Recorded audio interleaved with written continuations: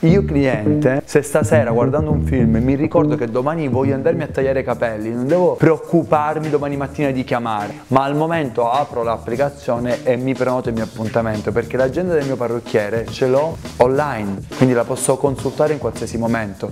Questa è una cosa fortissima perché spesso io cliente penso che domani devo chiamare, ma poi lo dimentico e mi è passata un'altra settimana. Invece farlo immediatamente è un appuntamento